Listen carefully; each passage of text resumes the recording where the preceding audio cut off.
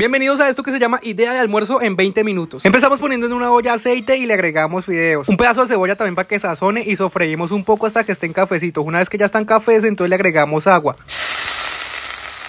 Acá en casa amamos muchísimo hacer este almuerzo porque es demasiado práctico, fácil, no se demora más de 20 minutos y además nos encanta muchísimo, queda súper delicioso. Esto siempre lo cocinan a fuego alto hasta que el agua seque. Miren, cuando ya el agua ha bajado le tapamos y lo dejamos ahí unos 10 minuticos a fuego bajito. Y ahora necesitamos aguacate para guacamole. Para que le sirva tiene que estar bien maduro el aguacate. Miren, oigan, qué pepa tan grande la de este aguacate. Miren eso, no es sino pepa. Ahora entiendo por qué el señor me dio 3 por 6 mil. Le sacamos esa doña pepa al aguacate y lo agregamos todo en una vasijita. Cada uno le pone la cantidad de sal que le guste y lo mismo la pimienta. Limón sí póngale bastante limón para que le quede bien bueno. Ese es el truco secreto. Y ahora lo maceramos, le vamos haciendo así como si hiciéramos un puré de aguacate. Vean, hasta que tengan algo así como esto bien cremosillo. Picamos una cebolla cabezona a la mitad y luego le hacemos unos cortes así y la picamos en cubitos y le agregamos a nuestro guacamole. Hacemos lo mismo con un tomate, lo picamos así, luego hacemos unos cubitos y se lo agregamos. Y este será un guacamole con queso que esto le potencializa los sabores increíblemente. También lo picamos en cubitos, se lo agregamos y también le ponemos cilantro fresco bien picadito. Ahora mezclamos esto muy pero muy bien hasta que tengamos un guacamole así como este. Miren nomás cómo se ve delicioso. Un plátano, me llaman señor plátano, papá, me encanta muchísimo. Le quitamos las puntas, lo pelamos y ahora lo picaremos en trocitos que no queden ni muy grandes ni tampoco muy pequeños. Las ponemos a freír en aceite, que el aceite esté a fuego muy bajito. Se dejan unos minuticos por ese lado hasta que dore y una vez que dorado entonces le damos la vuelta. Se deja nuevamente que dore por ese lado y se sacan. Los podemos poner en una tablita y con un plato lo aplastamos así por si no tienen platanera. Para que no se les pegue le pueden poner un poquito de aceite al plato o si no lo despegan así con un cuchillo y ya está. Miren nomás qué belleza. No olviden que la primera fritura que le dan a estos plátanos se la dan a fuego muy bajito para que les queden bien cocidos por dentro. Y esta segunda fritura que le daremos si se la damos a fuego muy alto para que queden bien crocantes. Se dejan más o menos como unos 30 o 40 segundos a que doren por un lado, luego se le da la vuelta y una vez que ya están dorados entonces se sacan.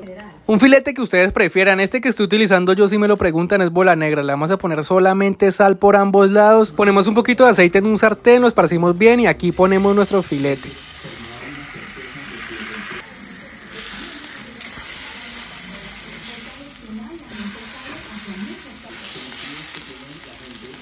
Después de que lo bajamos del fuego, lo dejamos unos minuticos, no lo cortamos todavía y después sí lo cortamos. Lo ponemos por acá a un ladito del plato. Le voy a poner aquí encima el juguito que botó. Le ponemos los demás acompañantes, esto por acá a un ladito, estos pataconcillos por acá a este lado. Y por último ponemos nuestro guacamole por aquí también. Y listo, miren, tremendo almuerzo en 20 minutos nada más. ¿Para qué más almuerzo si esto nomás está súper delicioso y bien balanceado, papá? Y esto es lo que hacemos en 20 minutos cuando no tenemos mucho tiempo de cocinar acá en la casa y además que nos gusta muchísimo. Siempre hacemos esto, así carnecita frita o asada.